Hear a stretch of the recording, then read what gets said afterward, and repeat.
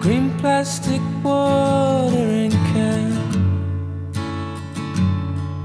for a fake Chinese rubber plant and a fake plastic girl.